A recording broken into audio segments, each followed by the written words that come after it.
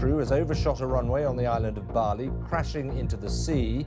A number of people have been injured. No one was killed.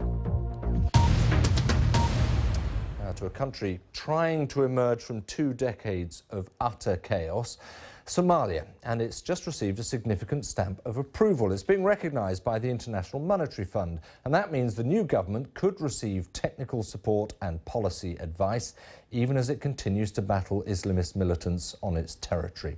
Well, for more on this now, I'm joined from Nairobi by Andres Ilves, who is the editor of the BBC Somali service. And uh, Andres, thanks for joining us. Let's start with a sense from you as to whether this really is a turning point. This really is a government that can govern the whole of Somalia. Well, probably what Somalia needs the most right now uh, is a series of stamps of recognition, such as this one. It comes in a long series dating back for the past six months of recognition of the new government, which is the first government you could argue is a functioning and somewhat legitimate government that's been established on Somali soil. So it's been about six months now. The US has recognized the new government, the EU, the African Union, the United Nations. So it comes in a series, and it's it's a step. It's a step, a sign of the fact that finally there's a government in Somalia that the international community has confidence in, that it at least has the possibility of, of rebuilding the country. Right. I, I guess a vote of confidence from the IMF would mean to most Somalis the opportunity of some funding to go with it.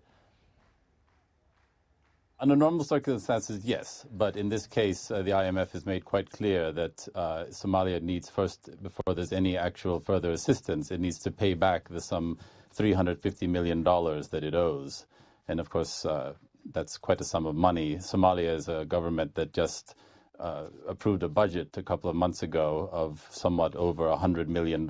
So if that's the annual operating budget of the country, it's going to be a long time before it could pay off that sum on its own. One might have thought then, Andres, given the, the uh, very fragile nature of Somalia over the years, that they would write that sort of figure off, because in the grand scheme of things, it's not a huge amount of money, is it? No, it's not. And the thing is, actually, there's going to be a series of meetings. Uh, Somalia, I should add, also owes the World Bank $250 million.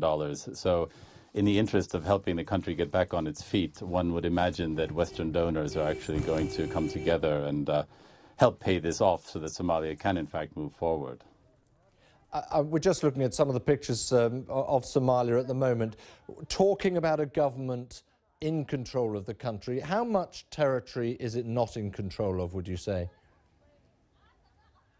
Well, the, we begin with the question of what constitutes Somalia, because 20, some 20 years ago, a big piece of the country split off and declared itself as an independent country of Somaliland.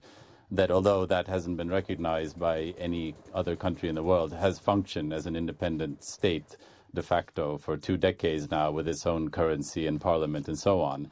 And then you have autonomous regions that already are, are uh, well, somewhat autonomous, like Puntland. And you have areas that are still controlled by Al Shabaab. So yes, to be frank, uh, the current federal government of Somalia does not control that much of the territory of, the, of what we would consider Somalia. Andres, thank you very much indeed.